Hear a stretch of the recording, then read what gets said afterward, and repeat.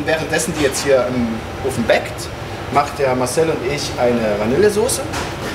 Und zwar mit echten Vanilleschoten, wie sich das gehört. Und zwar ist das jetzt hier eine Tahiti-Vanilleschote. Ähm, für jeden, der nicht weiß, was das ist. Und zwar ist das die Luftwurzel einer Orchidee. Und äh, man halbiert sie längs und kratzt dann einfach das Mark raus.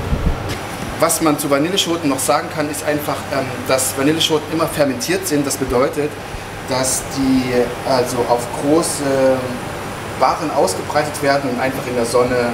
Und das sind dann die schwarzen Punkte in der Vanillesoße.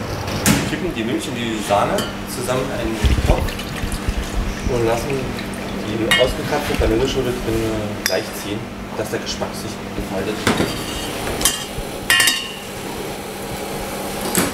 Das Eigelb und den Zucker schlagen wir jetzt bei dem Wasserbad zu einer cremigen Masse. Aber aufpassen, dass es nicht zu heiß wird, dass das Eigelb nicht grimmert.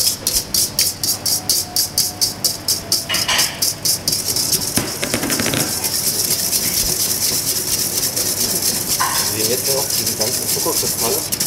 Wenn die dann aufgelöst sind, können wir dann zum nächsten Schritt.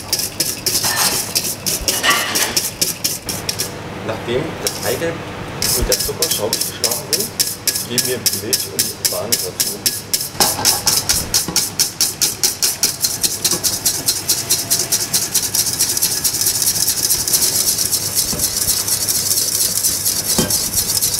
Der Marcel hat jetzt die Vanillesoße hat fertiggestellt. Dass die dann fertig ist, erkennt man daran, dass die aufhört zu schollen und dass die eine homogene Masse gebildet hat. Also man sieht ganz genau, dass die Vanille oben äh, schwimmt und nicht nach unten absinkt. Somit weiß man auch, dass die Vanillesoße fertig ist. Zum Abkühlen nehmen wir die dann einfach jetzt hier in so, großen, so eine große Porzellanschüssel. Weil man muss natürlich aufpassen, dass man relativ schnell die Vanillesoße runterkühlt, weil ansonsten das Eigelb stocken würde und man hätte einfach ein sahniges Rührei. Das wollen wir nicht. Alle Gastgeber und Rezepte unter www.topfgucker-tv.de